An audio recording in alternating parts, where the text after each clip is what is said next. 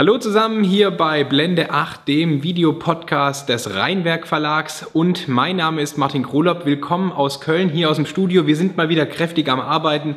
Es ist kurz vor Mitternacht, aber das ist halt als Fotograf einfach so. Ich möchte euch viel Spaß wünschen beim nachfolgenden Video. Nämlich geht es darum, dass ähm, ja, das ein kleines Video aus dem großen Videotraining Breaking the Rules ist. Breaking the Rules, da habe ich, so wie der Name es schon sagt, einfach Regelbrüche verarbeitet, fotografiert fotografische Regelbrüche und im nachfolgenden Video geht es um eine Taschenlampe. Wie macht man mit Hilfe nur einer einzigen kleinen Taschenlampe sexy Fotos im Dunkeln und ähm, ja, die Taschenlampe ist dann nicht nur, sondern gerade richtig perfekt. Schaut euch aber einfach mal das Video an und ähm, ich hoffe es gefällt und dann dürft ihr auch gleich selber anfangen mit den Regelbrüchen.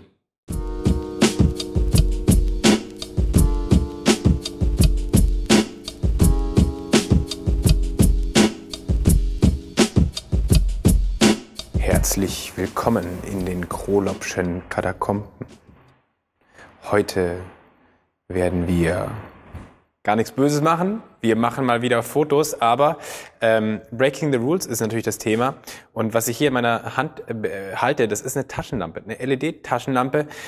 Zugegeben eine relativ starke LED-Taschenlampe, ein LED-Lenser, so ist der Markenname, äh, eine P7. LED oder LED-Taschenlampen sind ja in den letzten Jahren aufgekommen und immer stärker geworden. Und was diese kleinen Dinger eben zu leisten imstande sind, das ist unfassbar von der Helligkeit. Und warum, wenn man so eine Taschenlampe hat, soll man nicht auch damit fotografieren und richtig tolle Bilder machen? Weil eigentlich hat man hier ein, mit der Taschenlampe ein, einen kostenlosen Verfolgerspot.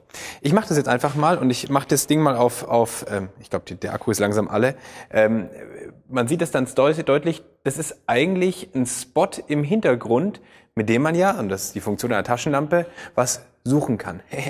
ja, man kann Sachen finden in der Dunkelheit und dieser Sucherspot, den kennen wir ja auch aus dem Theater, aus Bühnen und Veranstaltungen, aus Konzerten, wo natürlich war es immer auf den Hauptakteur, auf die Band, auf den Sänger, auf den Gitarristen und auf was auch immer gerichtet ist. Na, ihr werdet drauf kommen, ein sogenannter Sucherspot oder Verfolgerspot. Und ähm, genau diese Spielart können wir mit einer Taschenlampe sehr gut machen, weil a, die Lichtleistung inzwischen zeitlich unglaublich gut ausreicht, also die Dinger sind richtig stark geworden und b, ähm, es ist auch so, dass der Look ein richtig interessanten Ergebnis erzeugen kann und interessante Bildsprache hat. Ähm, Kommen wir mal zu den technischen Dingen. Ich bin hier A in unseren Keller gegangen, habe das Licht ausgelassen, aus einem ganz einfachen Grund, dass ähm, ich äh, kein wirkliches Drumherumlicht haben möchte. Ich möchte wirklich komplett nur mit der Taschenlampe arbeiten und deswegen muss es hier drumherum so dunkel wie möglich sein. Vielleicht kommt gleich jemand, macht das Licht an, dann wird es hier ein bisschen heller, aber fotografieren tue ich hier im Dunkeln. Wichtig ist, dass man die Regeln eben bricht. Und wo brechen wir mit einer LED-Taschenlampe die Regeln? Na ganz einfach in mehrerlei Hinsicht. Punkt Nummer eins, es geht wieder das Thema Licht. Wir haben hier kein schönes, angenehmes Licht. Wir haben hier ein aggressives, knallhartes, mini-hartes Licht, fast schon wie die Sonne. Ähm, dann ist die Farbtemperatur von diesen LEDs meistens so ein bisschen na, nicht so berauschend, neutral. Also wir haben hier so einen leichten blau-grünen Ton mit drin. Und dann kommen wir zum richtig großen Problem der LEDs, dass das Spektrum, also das ausgesendete Licht von diesen LED ähm, also von den Dioden, nicht wirklich perfekt fotogeeignet ist. Also man hat hier eigentlich kein Spektrum, was alle Farben so zeigt, wie sie wirklich existieren, sondern man hat äh, Lücken und man hat eben ähm, ja wirklich Aussetzer äh, im Spektrum. Bei den meisten LEDs ist es jedenfalls noch so. Ähm, und damit hat man ein schlechtes Licht, also ein schlechtes Qualitätslicht. Jetzt ist das einfach völlig egal für uns. Ja, ich fotografiere einfach damit. Für mich kommt nur auf die Helligkeit in der Hinsicht an und man muss sich eben damit akzeptieren oder man muss sich damit zurechtfinden, dass man gewisserweise die Farben in der Bildbearbeitung oder in der Retusche so ein bisschen hindrehen muss. Ich habe jetzt den Vorteil, dass ich über die ähm, spiegellose Systemkamera das einfach anmachen kann und ich kann meinen Weißabgleich ganz gezielt einsetzen. Ich kann den ganz gezielt ähm, so ein bisschen nach visuellen Aspekten terminieren und, und einstellen. Ich habe jetzt den Unterwasser-Weißabgleich rausgesucht. Äh, das ist der Fisch mit dem WB Fisch. Also WB Fisch hat mir hier die coolsten Ergebnisse gegeben und äh, da sieht man auch schon mal wieder, dass man auch mit Farbe eben in der Hinsicht extrem spielen muss, weil die Taschenlampe an sich ähm, ja ein bisschen schlechter da ist. Ich habe noch eine Sache, und zwar auf die ich achten muss. Ähm, bei diesen Taschenlampen ist oftmals so eine Fokussierung mit dabei. Das sieht man ja sicherlich jetzt im Weitwinkel. Ähm, und da bildet sich irgendwann mal so ein dunkler Spot, also da wird so ein, so ein heller, so ein heller Kranz draus. Ähm, und da habe ich die Taschenlampe so eingestellt, dass eben hier in der Mitte der helle Spot ist, aber nicht zu hell. Also ich habe so das so lange rausgefahren, bis ich so einen leichten Verlauf hatte und ähm, mit dem will ich arbeiten. Also muss auch so ein bisschen auf die auf die Lichtart ähm, oder Lichtqualität, die aus der Taschenlampe kommt, achten. Und jetzt habt ihr sicherlich ähm, die Frage, hey, wie fotografiere ich damit? Fotografiere ich irgendwie so oder fotografiere ich irgendwie von außen oder fotografiere ich irgendwie, ähm, ja, wo halte ich denn die Taschenlampe hin? Baue ich die auf ein Stativ? Nee, ich möchte wirklich portabel bleiben und ich halte die Taschenlampe wirklich direkt über die Kamera und kann damit auch so ein bisschen zielen, weil ähm, ich will ja das Modell nicht immer mittig haben, ich will es auch mal ein bisschen versetzt haben. Ich, ich spiele auch damit, dass ich so ein bisschen links, rechts, oben, unten ziele. Man kann mit dem Spot auch so ein bisschen manchmal das Gesicht weniger belichten und woanders hinzielen, ein bisschen auch dran vorbei am Modell.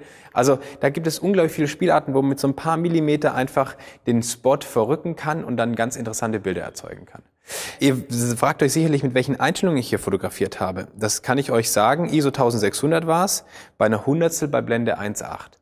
Ähm, also ihr merkt, das ist jetzt schon ein erhöhter ISO-Wert und es ist auch nicht jetzt die kürzeste Verschlusszeit, die man haben kann, aber das ist kein grenzwertiges Fotografieren. Also ISO 1600 bei einer aktuellen Kamera wie der EM10 mit in Hundertstel aus der Hand, pff, das ist immer noch lächerlich. Also das ist, da sind wir noch nicht in dem Grenzbereich, wo es wirklich gefährlich wird, irgendwas, ja, irgendwie, wo man sagt, oh Gott, jetzt ist die Qualität dann gleich kurz vor abnippeln.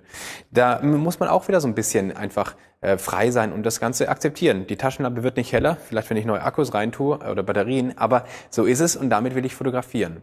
Und dann habe ich noch eine Besonderheit bei der Location. Wenn ich schon so ein plattes Licht habe, also wenn ich schon so einen, so einen Spot habe, dann suche ich mir eigentlich immer ähm, Elemente der Tiefe raus. Das werdet ihr gleich sehen. Anastasia steht ja hier schon im Dunkeln. Man sieht sie vielleicht nur so erahnend von den Schemen. Aber ich habe sie hier an eine, an eine Kante gestellt und ich fotografiere in den Raum rein, weil der, das Licht, wenn es so frontal von der Kamera kommt, hat ja schon eine Lichtrichtung. Die Lichtrichtung, die geht in das Bild hinein. Ähm, normalerweise haben wir eine Lichtrichtung, die zum Beispiel von links nach rechts geht. Also hier hell, hier dunkel. Wenn ich jetzt aus der Kamerarichtung leuchte, dann habe ich vorne hell, hinten dunkel. Und das hinten dunkel, das sehe ich meistens nicht, jedenfalls dann, wenn ich die Taschenlampe so nah ans Objektiv halte. Was ich aber dadurch wieder sichtbar mache durch, durch den Raum, ist, dass es doch eine Tiefenstaffelung gibt. Ich habe also eine hell angeleuchtete Wand, dann kommt Anastasia und dann kommt hinten schon wieder die dunkel werdende Wand und man sieht so ein bisschen im hinten rein noch den Raum. Man hat also wieder das Gefühl der Tiefe und damit wird dieses flache, frontale, platte Licht wird optisch gesehen wieder sehr tief und sehr dreidimensional. Ja, krass. Ne? Also ihr könnt damit echt spielen. Ihr könnt auch mal das Licht von unten kommen lassen und, und, und mit, mit, mit dem Licht von unten spielen, ähm, dann sieht's ein bisschen aggressiver aus und es wird auch noch ein bisschen unangenehmerer Look, aber ähm, das kann genauso gut funktionieren. Anastasia, gehst nochmal an die, an, die, an die Kante ran? Ja, und äh, viel Spaß euch, ne? Tschüssi!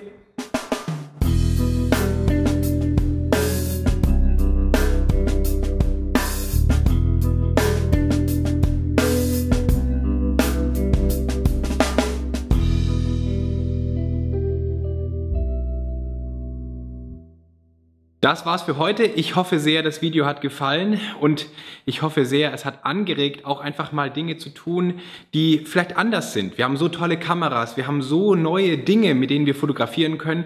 Wir brauchen nicht wie vor 20 Jahren die 5000 Watt Blitzlicht, sondern wir können ganz andere Fotos machen, wenn wir uns nur trauen. Wenn das Video euch gefallen hat, dann gebt doch ein kleines Like oder auch abonniert den Kanal natürlich hier von ähm, Rheinwerk. Ja?